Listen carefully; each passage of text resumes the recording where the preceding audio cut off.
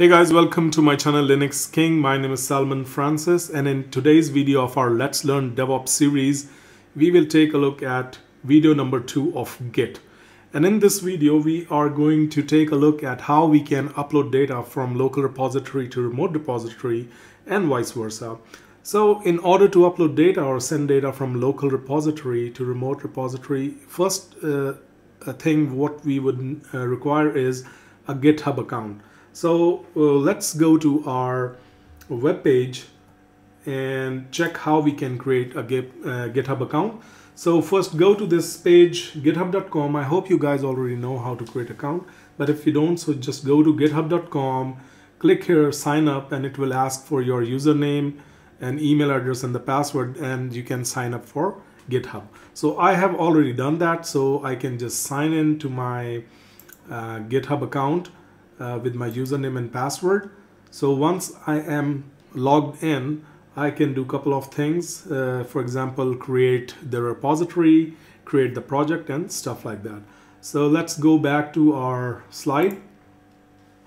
Okay, so the second step is to create a repository uh, in GitHub account and no need to initialize it since we want to push data from our local repository to the remote. So let's do that. So to create a repository, we can simply just click here to the plus button and uh, click here new repository. Okay, and it uh, we can create any repository here, any name. So I can call it DevOps Learning or okay. So this is a test repository for DevOps training. So let's call this uh, uh, like this description. Of course, it's optional, but we can always uh, it's always helpful. And okay, so this is going to be a public repository, and we can choose a private repository, but that would be private. So uh, I'm going to create a public repository, and here I'm not going to initialize this since I'm going to send data from my local repository to this remote one. Once this is done, you just click on create repository and here it is. It will tell you that the repository has been created.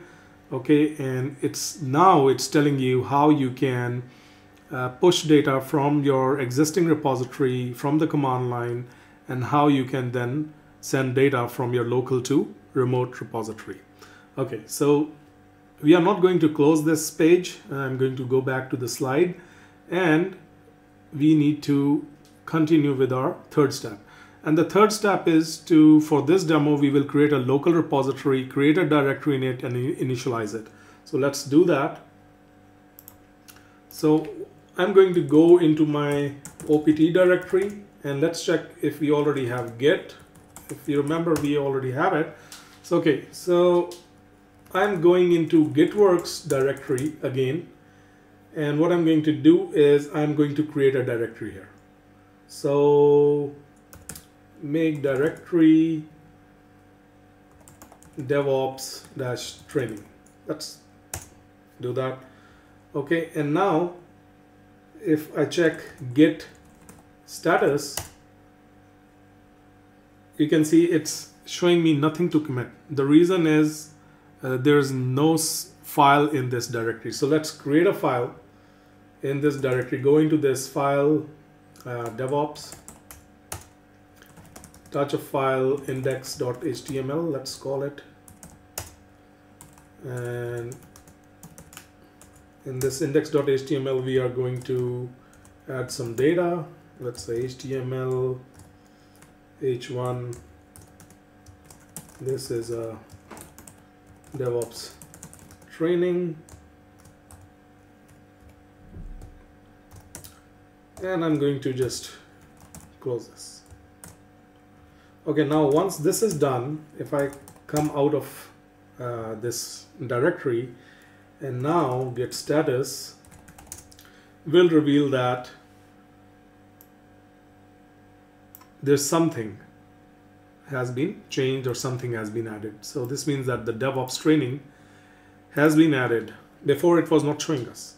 So now we need to git add DevOps and the file of course which was index.html and now if I take a look at git status it will show me that there is a new file it's called uh, DevOps training slash index.html okay now what I'm going to do is I'm going to go into this DevOps training ls-a and you can see that git is not initialized in this directory.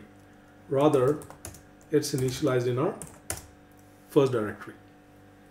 Okay now what we need to do git status will reveal that a new file is in staging area. So we need to commit the changes. So how we can commit the changes? We can git commit. And then need to type the message that added heading. Okay only added heading. And here is uh, the commit is successful. Okay how we we can check it by git status. And now it's saying nothing has been uh, nothing to commit. So this means everything is good.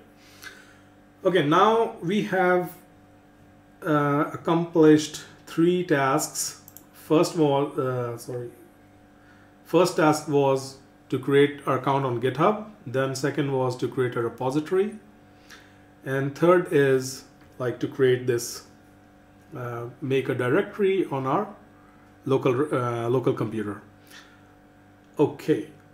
Now we have already checked the status as well. So status was like uh, showing us that everything is done. We committed the changes. And now third step is we need to push it to remote repository. So in order to do that we have already created the repository you can see. And the description of the repository we have already added everything is there. Let's go to our repository. Okay here is our repository DevOps learning.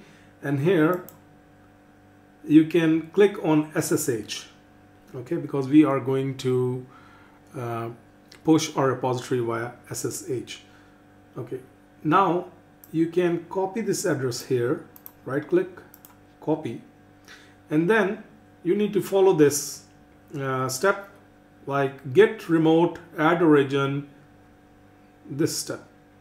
Like you can copy this instead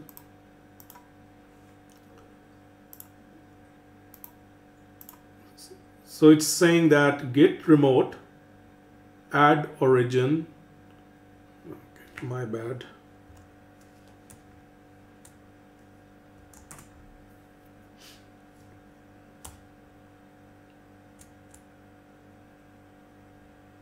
It's duplicating actually so